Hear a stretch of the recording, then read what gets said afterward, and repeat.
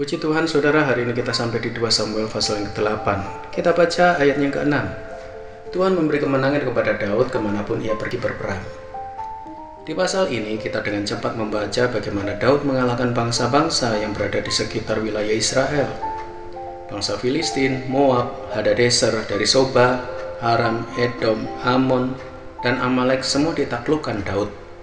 Selain ia juga mendapatkan hubungan bilateral dengan Tau Raja Hamad Mungkin jika ibarat sebuah film, ini seperti adegan yang digambarkan dengan kilasan-kilasan singkat beberapa detik saja, karena begitu banyaknya.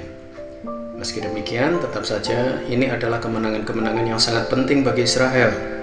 Bangsa Israel mengalahkan bangsa-bangsa itu bukan dalam rangka menjajah seperti imperialisme bangsa Barat di abad pertengahan.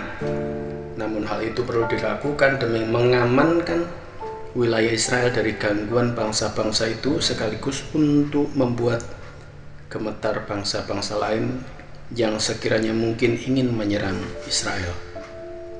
Meski kemenangan-kemenangan itu ditulis singkat, tetapi ada yang jelas ditulis Alkitab tentang kemenangan-kemenangan tersebut. Yang paling penting adalah bahwa kemenangan itu karena Tuhan.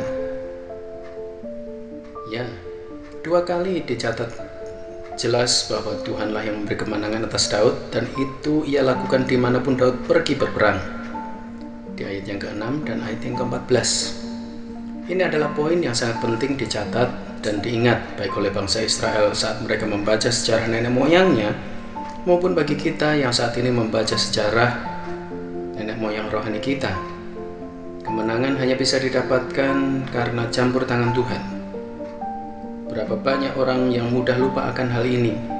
Saat usaha kita berhasil, padahal biasanya kita atau orang lain yang melakukannya gagal. Mungkin kita sadar bahwa semua itu adalah campur tangan Tuhan. Namun ketika keberhasilan dan kesuksesan sudah menjadi biasa, sering kali manusia lupa bahwa itu semua tetap hanya karena campur tangan Tuhan semata, bukan karena kekuatan, pengalaman, dan kejituan strategi kita. Kita mampu karena Dia yang memampukan kita. Puji Tuhan. Kita akan satu dalam doa. Terima kasih Bapak di surga, bersyukur kepadamu.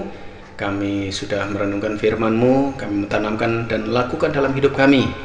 Kami tahu bahwa kemenangan kami semuanya ditetapkan oleh Tuhan. Kami dapat raih, kami dapat capai keberhasilan itu pun karena Engkaulah Tuhan yang berkarya. Kami bersyukur buat segala kasih dan anugerahmu. Kami alaskan dalam nama Tuhan Yesus Kristus. Haleluya. Amin. Puji Tuhan, Tuhan memberkati.